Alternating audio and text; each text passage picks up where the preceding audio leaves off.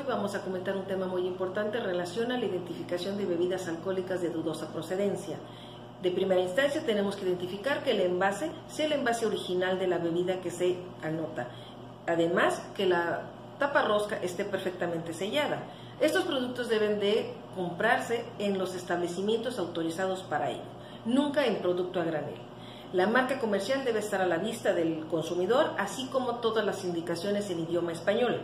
La leyenda precautoria es elemental. El abuso en el consumo de este producto es nocivo para la salud. La identificación del tipo de bebida que es, como el tequila, vodka, mezcal, etc., y el porcentaje de grados que contiene de alcohol. Por otro lado, los símbolos de advertencia importantes que no deben pasar. Prohibido el consumo a mujeres embarazadas, si beben o conduzca automóviles y prohibida su venta a menores de edades.